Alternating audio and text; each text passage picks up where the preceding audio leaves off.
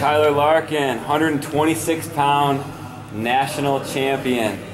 How are you feeling? I feel good. I think I wrestled great this tournament.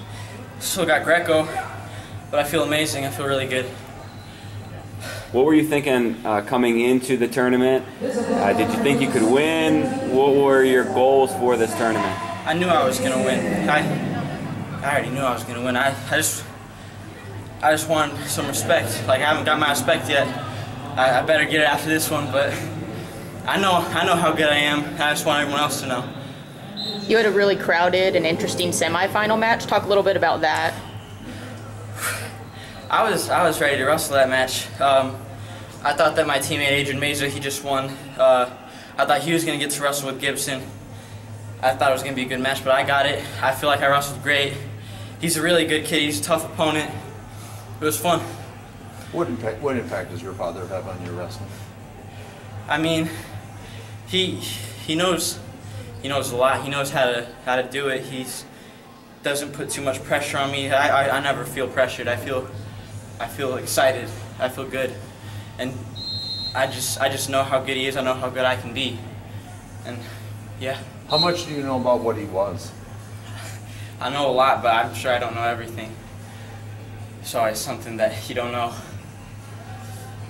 Talk about wrestling on the big stage. Compare that to anything else you've experienced in the sport. I mean, I've always I've always wanted to wrestle on something like that. It seemed like when I when I was younger, me and my brothers we'd be, we'd be like really young. We'd say blah blah blah. Like we just make stuff up in our heads and we'd be like, "This is Fargo finals." Like we just mess around. Here I am and I'm I'm doing it. I'm winning it.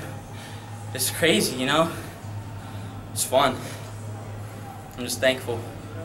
You talked a little bit about um, your training situation and Adrian, and maybe share a little bit more about what that means to you. I mean, it's it's awesome having me and him. We've known each other for a while. He's been my training partner for forever, and we're we're doing big things. We're accomplishing big goals together. It's amazing to have the person you've been doing it with right there next to you. Feels great. It's awesome. So could you say, um, you know, tell the country, you know, a lot of people don't know about Valiant Prep. Tell tell people what's going on down there at Valiant Prep.